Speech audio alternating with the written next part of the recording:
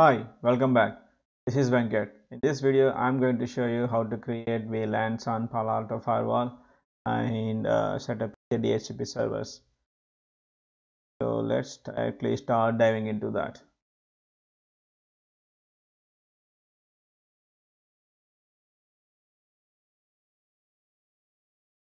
So this is my uh, previous setup from the previous videos and I'm going to set up layer 2 interface VLAN configuration on slash 4.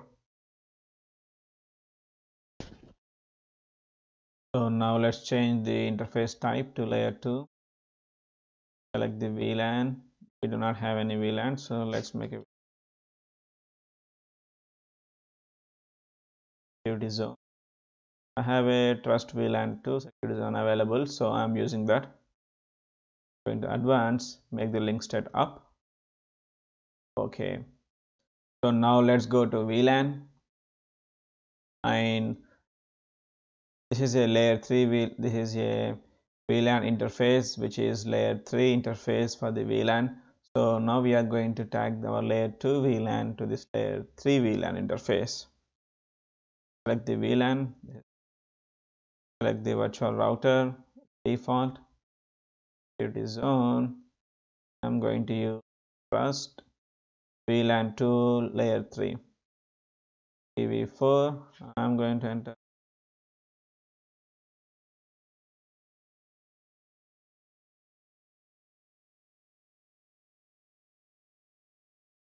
Advanced uh, management profile. I'm just using inside VLAN all good. So this is good. Now we have to go interfaces are good. Now let's go to virtual router and advertise this VLAN to the OSPF what we have running on the firewall. Go on to the interfaces. Add interface. Select VLAN so this is it. So now we have now we are going to advertise the this VLAN to the OSPF routing product OSPF routing table. Okay now I think everything is good. Okay we have assigned a layer 2 VLAN layer 2 interface and then a VLAN to it.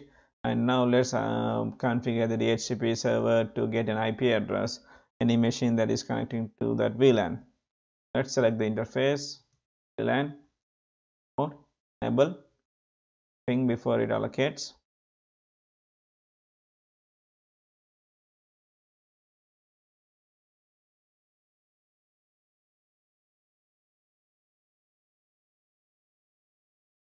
so I have given the IP pool range. Yes.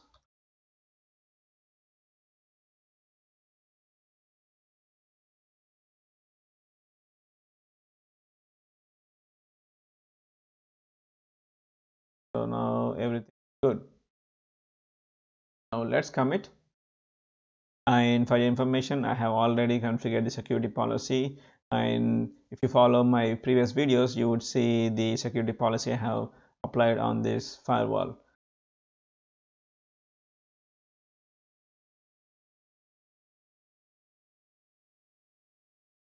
So we did not get any errors and the VLAN configuration was successful. Let's see what's the interface. Is green. Okay that's good. Cloud uh, cloud host machine.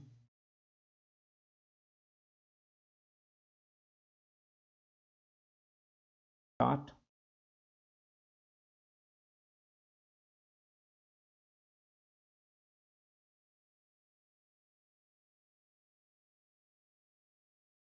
This virtual machine is free of use free of cost.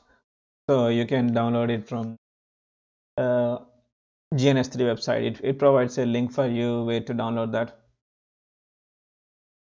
let's verify whether we have an IP address or not. Connection information I have an IP address 10.10.22.4 see whether we can reach outside network. We do not have the access to that.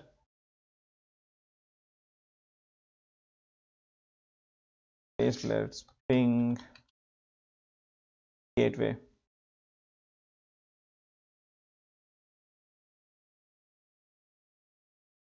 Okay I can reach the gateway.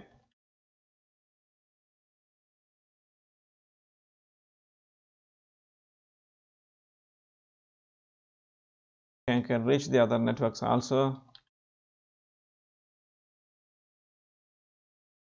Let's see my DNS server is resolving it or not. Okay I cannot reach the DNS server maybe I did not configure the NAT for this. Yeah I did not configure the NAT for this um, security zone. Okay I did not create any NAT because uh, um, I want to make a, a video dedicated to creation of NAT on the firewall. So in the next video I will show you how to create the NAT and we'll finish it we'll finish the basic firewall configuration yeah, simple protocols uh, and simple security policies enforced on them on it and get the access to the internet. And later on we will keep on diving into the additional features that we have all in the next generation firewall. So this is how the setup is. Just to rewind um, it is simple. Select the interface. Change the interface type to layer 2 select the type VLAN security zone make the interface up. Same thing is go to the VLAN is VLAN interface.